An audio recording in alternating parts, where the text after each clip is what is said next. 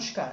এক যাচ্ছে ছড়াবে আপনার সকলকে স্বাগত জানিয়ে শুরু করছি আজকের নতুন এপিসোড তো আজকে আমি রিভিউ করতে চলেছি শেষের গল্প মুভিটি তো এই সিনেমাটি হচ্ছে রবীন্দ্রনাথ ঠাকুরের শেষের কবিতার অনুপ্রেরণা অনুপ্রেরণায় গঠিত।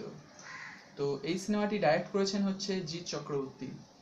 আর অভিনয় প্রসঙ্গে যদি আসি, এখানে অভিনয় করেছেন সৌমিত্র চট্টোপাধ্যায়, মমতা শঙ্কর, খরাজ মুখার্জি এবং অরুণ মুখোপাধ্যায়। আর এদের প্রত্যেকেরই অভিনয় একদম দুর্দান্ত ছিল। আর সিনেমার স্টোরিটিও পুরোটা ইউনিক আমি এখানে স্পয়লার দিতে চাই না, তাহলে তোমাদের মজাটা নষ্ট হয়ে যাবে।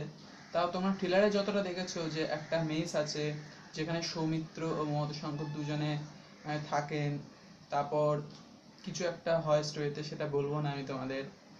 আর মিউজিকের ব্যাপারে যদি বলি, এখানে জয় সরকার মিউজিক খুবই ভালো দিয়েছেন ব্যাকগ্রাউন্ড স্কোরটা খুবই ভালো। আর ডাইরেকশনের ব্যাপারে যদি বলি, জিৎ চক্রবর্তী এখানে ডাইরেক্টিংটা খুবই ভালো করেছেন। সিনেমায় খুবই ভালো ভালো কিছু ডায়লগ আছে, যেগুলি তোমরা হলে গিয়ে দেখলেই জানতে পারবে। এছাড়া সৌমিত্র চট্টোপাধ্যায়ের অভিনয় খুবই সুন্দর, ওনার এক্সপ্রেশনটা এক্সপ্রেশনগুলি খুবই সুন্দর। ওনার ডায়লগ বলা কিংবা হাঁটা চলা, এছাড়া মমতা শঙ্করের কিছু নাচের দৃশ্য আছে, সেগুলিও অনবদ্য, খুবই সুন্দর। তো এক কথায় যদি আমি বলি সিনেমাটি আমার কেমন লেগেছে, আমি বলব সিনেমাটি খুব সুন্দর, অসাধারণ হয়েছে।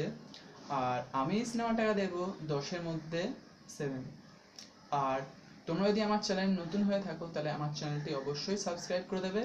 ভিডিওটি ভালো লাগলে অবশ্যই একটি লাইক করে দেবে বন্ধু বান্ধবীদের সাথে শেয়ার করে দেবে। বাই দেখা হচ্ছে নেক্সট ভিডিওতে